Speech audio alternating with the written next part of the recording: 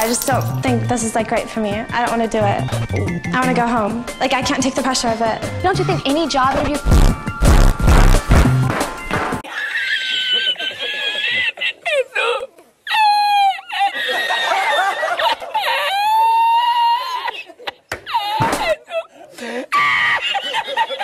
Ya voy solamente para